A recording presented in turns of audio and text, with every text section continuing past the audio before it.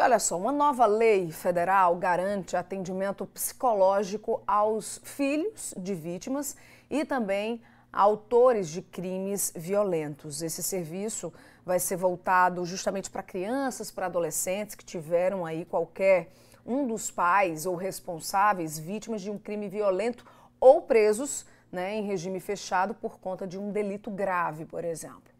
Para a gente entender melhor né, sobre essa lei, sancionada inclusive hoje pelo presidente em exercício, Geraldo Alckmin, a gente conversa a partir de agora por videochamada com o advogado Marcos Donato. Seja bem-vindo ao Jornal da Correio. Boa noite para você. Boa noite, linda. Boa noite a todos. Tudo bem? Tudo bem. Bom, a minha primeira pergunta é quais são os pontos, né, chaves dessa nova lei, doutor? Essa, a, a, a nova redação né, entra em vigor em 90 dias. Acaba, de, de alguma forma, alterando aí o Estatuto da Criança e do Adolescente. Então, quais são os pontos chaves que o senhor pode destacar aqui para a gente dessa nova lei? De fato, ela traz uma mudança extremamente significativa no Estatuto da Criança e do Adolescente. A Lei 14.987, ela traz a previsão de que deva ser dada uma assistência médica e psicológica aos filhos, né, não só filhos, né, que ele fala de pais ou responsáveis, mas filhos daquelas pessoas que são vítimas do crime, né, que vieram a falecer em decorrência de crime, mas também não deixou de lado aquela vítima que também eu considero como vítima, aquele filho do criminoso. Porque às vezes a gente olha para o criminoso que de fato tem que cumprir a sua, a sua pena no sistema carcerário, mas muitas vezes os filhos dele não têm responsabilidade nenhuma por isso. E também devem ser assistidos pelo Estado através da assistência médica e psicológica. Na prática, como é que vai funcionar então?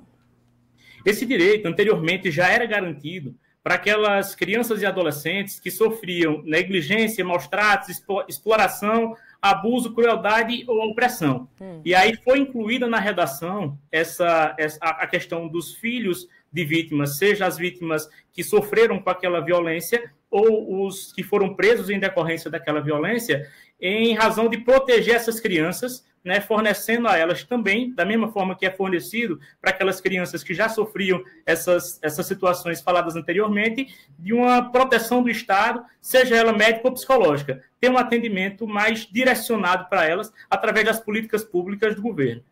E como é que as pessoas podem ter né, esses, esses, esse público-alvo, vamos dizer assim, do projeto, da lei, enfim, como é que eles vão poder ter acesso a esses serviços?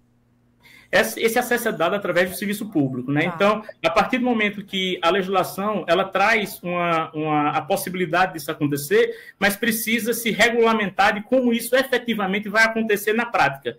Infelizmente, a gente sabe que nem sempre o que está na lei, na prática, acontece de forma tão efetiva. Mas, de fato, a, ela traz a obrigação de que o serviço público atenda essas crianças e adolescentes, trazendo esse, esse aparato psicológico e médico para minimizar os danos. Né? Você imagina quanto sofre uma criança que perdeu um familiar, seja ele vítima da violência, ou seja porque está preso e ele perdeu o contato com aquele, com aquele familiar. Já existe, inclusive, algumas legislações que prevêem o acesso do, do menor ao, ao presidiário no regime prisional, mas aí ela vem complementar, trazendo essa possibilidade da assistência psicológica tão importante para evitar traumas futuros, que a gente sabe que muitas vezes a criança presenciou, inclusive, a violência cometida contra seu representante legal, e ela fica, de fato, muito vulnerável, e há uma necessidade dessa assistência psicológica. Uhum. Doutor Marco, muito obrigada pela sua participação aqui no Jornal da Correio, viu? Boa noite.